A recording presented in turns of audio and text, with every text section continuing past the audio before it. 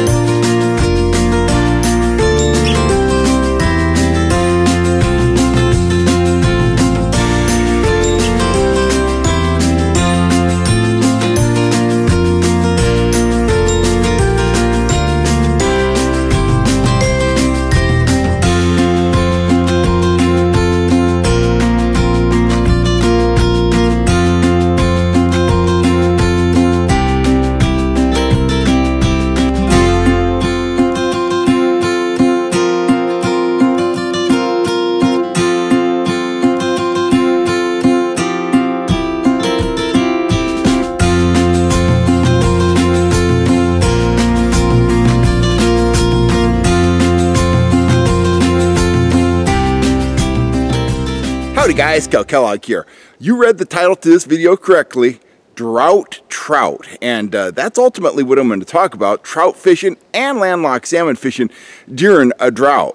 Um, I actually came up with that title, Drought Trout, the last time we had drought like conditions here in Northern California when I was working for the Fish Sniffer magazine, but the uh, the publisher kind of kind of canned that title because we didn't use the D word. We had to keep it positive because, you know, we were worried about losing advertising. Well, here on my YouTube channel, I would rather be truthful than positive. And this video is going to be, oh, probably three quarters positive and one quarter negative because we are in a drought. Um, I was watching the local uh, Sacramento news the other night and they were out at Folsom Lake um, interviewing people.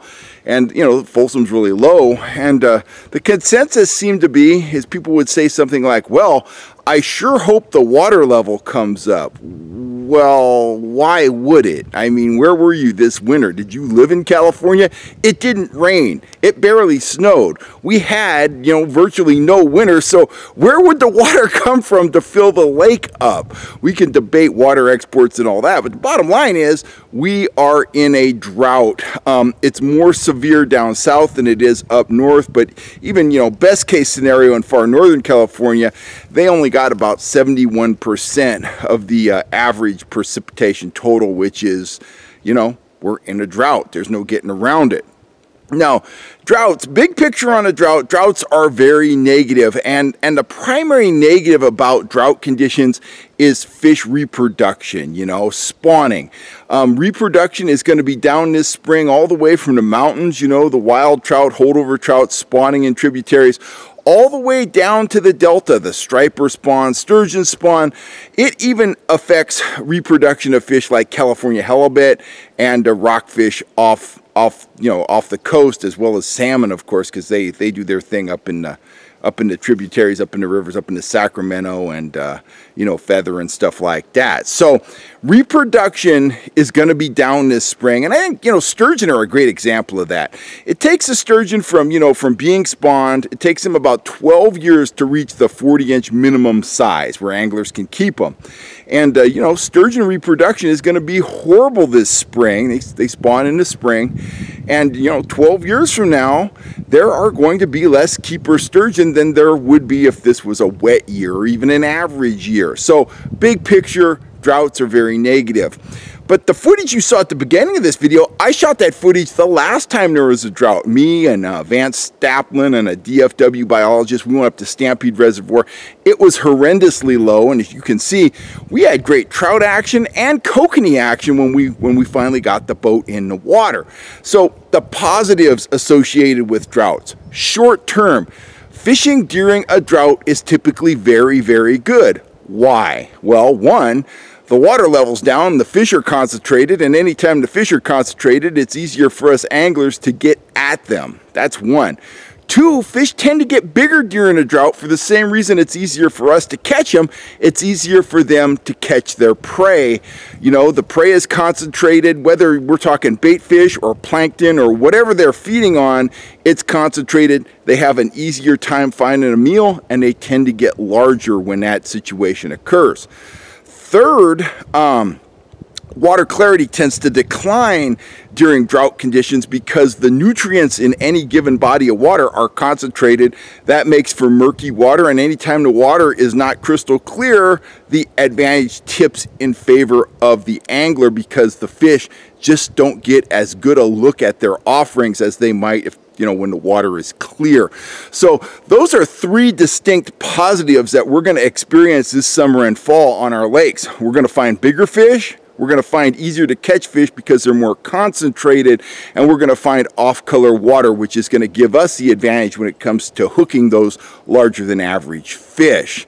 Um, another negative that we need to consider is boat launching. You know, at the big impoundments, places like Shasta, people that plan those lakes, they were aware of the cyclic, you know, nature of California winters and uh, they planned ahead. They realized those lakes were going to be drawn down and uh, they tend to have pretty good boat launching facilities even when the lakes are down a significant amount. At the smaller impoundments, the high mountain lakes, the foothill, you know, lakes, the, the smaller stuff, it's going to be a lot more challenging. Now, the big boaters out there, you guys are probably going to need to stick with the larger lakes or you're going to have to utilize four-wheel drive and a lot of common sense when it comes to dropping your boats off the shore at, at foothill and mountain lakes, the smaller, the smaller bodies of water. Us guys that fish from kayaks, canoes, car top craft and stuff like that, we're going to have a field day. We're going to have a lot of water, uh, you know, to access, and we're not going to have a lot of competition in terms of the big boats, the trailer boats. Um, we're going to be able to get those crafts, you know, the canoes, the kayaks, car toppers. We're going to be able to get them into water, and when we do get them into water, we're going to find a lot of nice, hungry, unpressured fish. So, you know, bottom line is don't write off the season because we're having drought conditions. The fishing is going to be very, very good. Anglers always overcome. We love a challenge. We're going to overcome the launching challenge, even if it means fishing off the bank. Bank fishing is going to be exceptional this fall. It's going to be very, very good. The fish, once again, they're going to be concentrated. We're going to get to see the structure that we seldom see. The time to really start worrying is if next winter is as poor as this winter. We need a wet winter and uh, I don't want to be in a climate change debate here. In fact, I'm not getting in a climate change debate here, but I'm a guy that watches the weather, weather very closely. California is an arid state, and we've always had dry periods and we've always had droughts. I am worried that we are moving into a more arid pattern where rather than the dry years being the anomaly, wet years seem to be coming the anomaly, at least over the last 15 years or so. But we will see 15 years in the in the big picture is just a very tiny, tiny, tiny snapshot in time. So I don't think we can make any real judgments, but I got my fingers crossed that, that the 21-22 winter is going to be very wet. Our lakes are going to fill. We're going to be back on track. But uh, I can tell you from experience, having lived in California my whole life and having fished through several different droughts, um, the fishing is going to be very good this summer. It's going to be very good this fall. And uh, you got to get out there, get after those fish overcome the challenges of getting your watercraft on the water and uh, you are going to be yelling fish on. I guarantee it. That day we went up to Stampede. The kokanee were significantly bigger than they had been in previous years. We were catching trout and the water was very murky. I put a GoPro under the water and it was very hard to get underwater footage that day simply because the nutrients in the lake were so concentrated and uh, that made for bigger, easier to catch kokanee and uh, we were happy guys. I remember we had to put the truck in four-wheel drive to get Vance's big old North River boat into the water that day, but once we were we were afloat, it was fish on, baby.